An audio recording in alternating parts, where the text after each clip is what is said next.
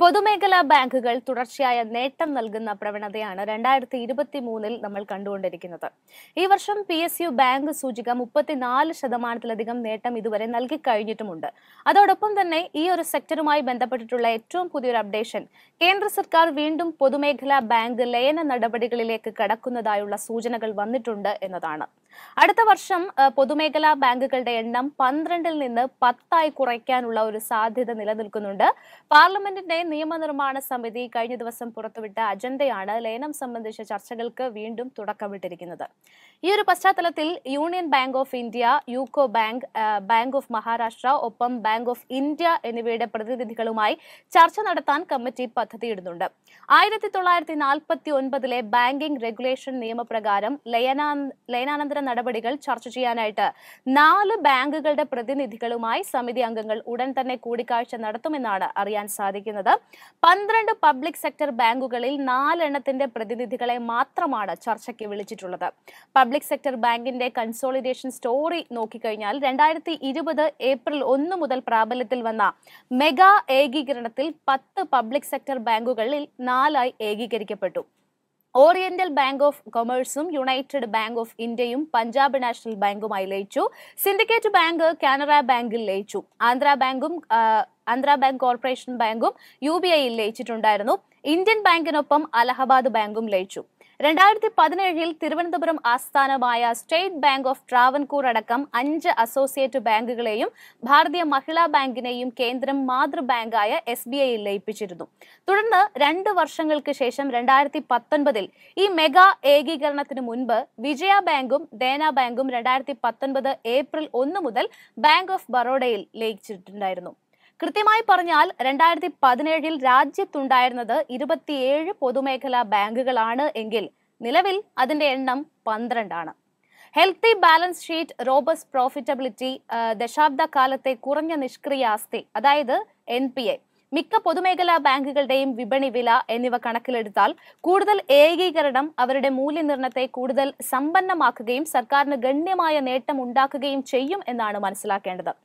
മാത്രമല്ല രണ്ടായിരത്തി ഇരുപത്തി ഒന്ന് സെപ്റ്റംബറിൽ മുംബൈയിൽ നടന്ന ഇന്ത്യൻ ബാങ്ക്സ് അസോസിയേഷന്റെ എഴുപത്തിനാലാമത് വാർഷിക പൊതുയോഗത്തിൽ സമ്പദ് വ്യവസ്ഥയുടെയും വ്യവസായത്തിന്റെയും മാറിക്കൊണ്ടിരിക്കുന്ന ആവശ്യകതകൾ നിറവേറ്റുന്നതിന് ഇന്ത്യയ്ക്ക് സ്റ്റേറ്റ് ബാങ്ക് ഓഫ് ഇന്ത്യ അതായത് എസ് ബി ഐ പോലെ നാലോ അഞ്ചോ ബാങ്കുകൾ കൂടി ആവശ്യമാണ് എന്നാണ് ധനമന്ത്രി നിർമ്മല സീതാരാമൻ പറഞ്ഞത്.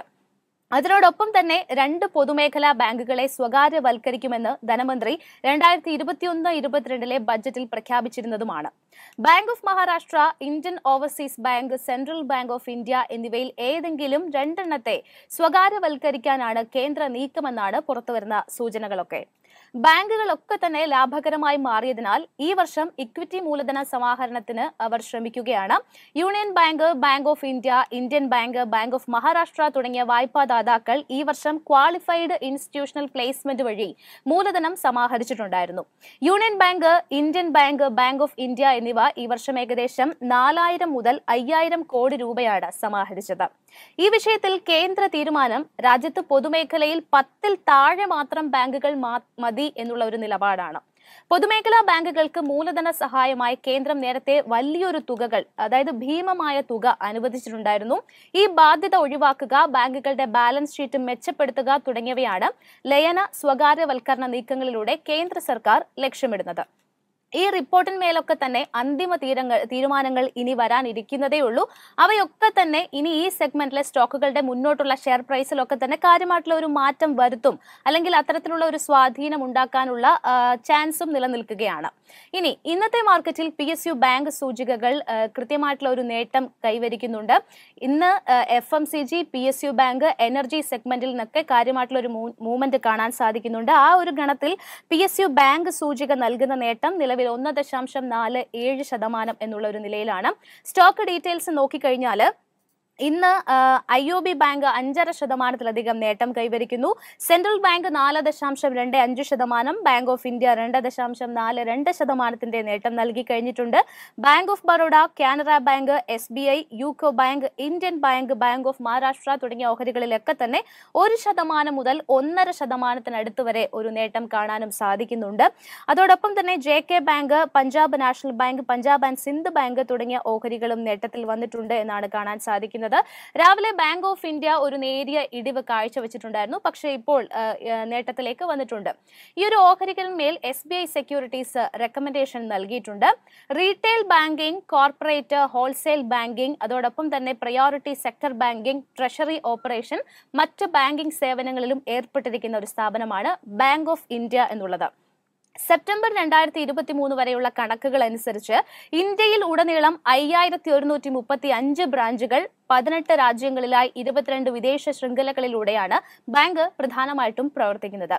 ബാങ്ക് ഓഫ് ഇന്ത്യയെ സംബന്ധിച്ച എസ് ബി ഐ സെക്യൂരിറ്റീസ് പതിനൊന്ന് മുതൽ പന്ത്രണ്ട് ശതമാനത്തിന്റെ ലോൺ ഗ്രോത്ത് ആണ് രണ്ടായിരത്തി ഇരുപത്തിനാല് സാമ്പത്തിക വർഷത്തിൽ പ്രതീക്ഷിക്കുന്നത്.